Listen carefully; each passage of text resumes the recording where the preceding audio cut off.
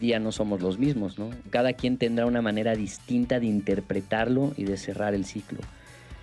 Yo creo que los cinco estamos en un duelo y lo estamos procesando. Jay, luego de anunciar su salida definitiva de Moderato, Jay de la Cueva aclaró de una vez por todas si fue por algún pleito que decidió dejar la agrupación y comenzar su carrera en solitario. Somos, seguimos siendo, eh, seguimos siendo amigos, nos, nos vamos en una, en una situación muy privilegiada. Es un hecho que los que empezamos ese grupo hace 24 años, pues hoy día no somos los mismos, ¿no? Cada quien tendrá una manera distinta de interpretarlo y de cerrar el ciclo. Yo creo que los cinco estamos en un duelo y lo estamos procesando. Jay, que presentó su primer sencillo como solista, Tokio, defendió a Moderato de quienes creían que por vestirse excéntricamente no eran un grupo que se tomaba en serio la música.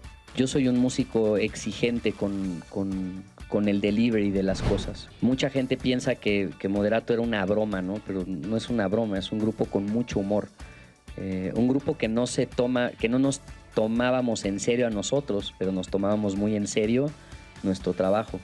Le gustara o no le gustara. La cantante agregó que Moderato fue de las primeras bandas en hacer colaboraciones y así se expresó de Belinda.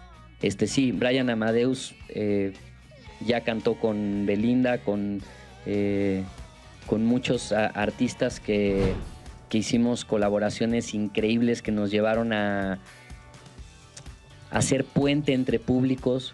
También creo que hay que reconocerle a Moderato que fuimos de las primeras bandas. Hoy está muy normalizado como el tema de las colaboraciones y que esté no sé quién con no sé quién y ya nadie le llama la atención, pero la primera vez que un grupo como Moderato, que todavía éramos una banda de alguna manera de nicho que tocaba en festivales de rock, en el Vive Latino, se presentó con, eh, se presentó con un sencillo con Belinda, se pateó el pesebre, ¿eh? dejamos de tener muchos seguidores del rock.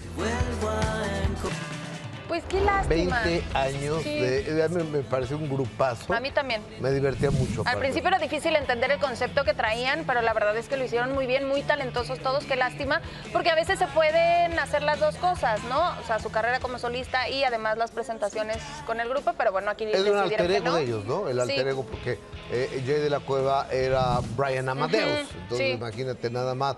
Y, y, luego con esas pinturas y esas pestañas. A mí y me encantaba. Me gustaba mucho. Esperemos un reencuentro pronto.